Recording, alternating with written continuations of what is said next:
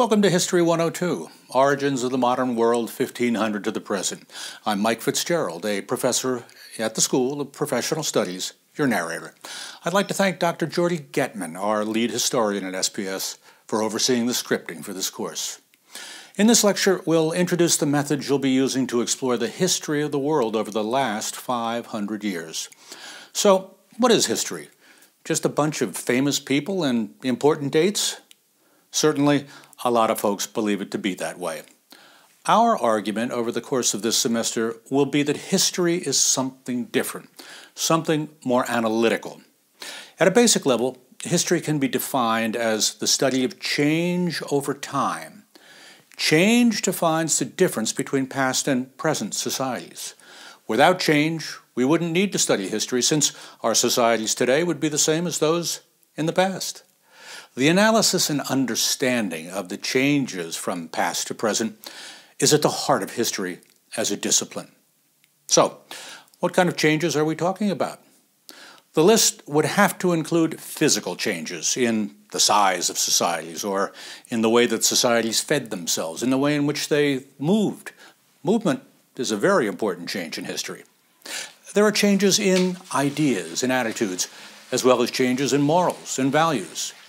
There have also been changes in the law and in governments, regime changes that fundamentally altered the course of our world. There have also been changes in economic systems, some more successful than others. And then there are the changes in everyday life. This is the change that often receives the least attention, but which has most directly affected societies and the individuals that constitute them. Physical changes, changes in ideas, conceptions, moral values, government, economy, all of these come together to create an environment, a world in which people live, at times suffering and at other times flourishing. So now that we know what the study of history includes, why do we study it? Why are you taking this course and why is it important that you understand what happened 500 years ago? There are three reasons we'd like to propose.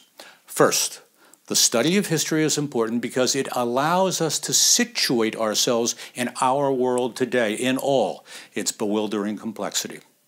Without understanding the past, the process of change that has led to the present, we can't begin to understand our world.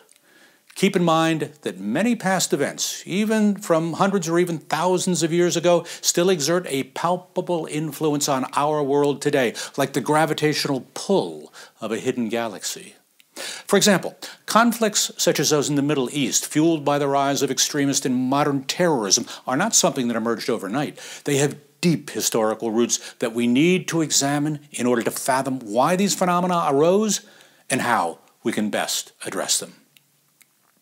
Second, history is important because it preserves our collective social memory.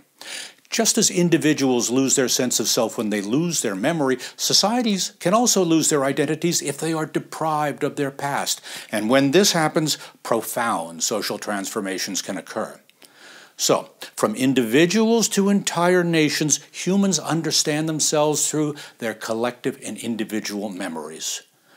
Throughout history, societies have revisited their pasts and altered them to fit their evolving needs. Something that may have been morally wrong in the past can become ethically acceptable in the present. Yesterday's enemy can become today's ally. Each of these changes brings subtle shifts in our collective memory, altering our understanding of the past. And these differing interpretations can cause both social unrest and political conflict. So historians have an important role to play. They must serve as both guardians and interpreters of our collective memory.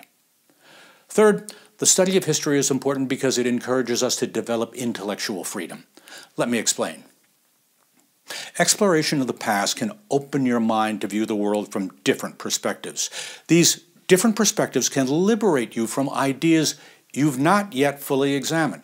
Now, I'm not saying you should do away with those ideas. I'm saying that you should be flexible enough to seriously probe them and ask why you accept them. Once you begin this investigation, you'll find yourself surveying a much broader horizon, one that will include a richer understanding of the events of the past 500 years. At the beginning of this lecture, we said that we'd be using an analytical approach to the study of history. Next up, we'll take a more detailed look at what that means.